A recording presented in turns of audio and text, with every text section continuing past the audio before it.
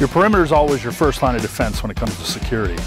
And in this case, we're going to be talking about a slide gate operator today. Hello folks, my name is Brent Canfield. I'm the owner of Smart Digital. So today we're at a very autonomous location. We're out in the middle of nowhere. As you can see, we've got a, a nice lake here next to us.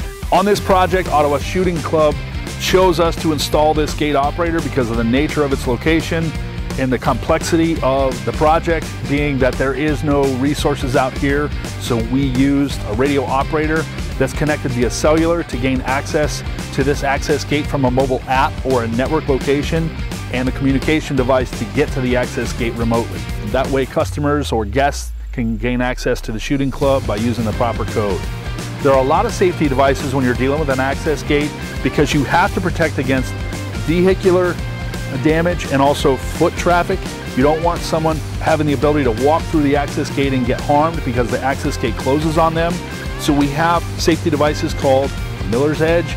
We have safety devices that are actual inductance loops that are buried under the ground that sense the detection of a vehicle and will prevent the gate from closing on a vehicle. Also, while in travel, the safety device will then prevent the gate again from closing on the device.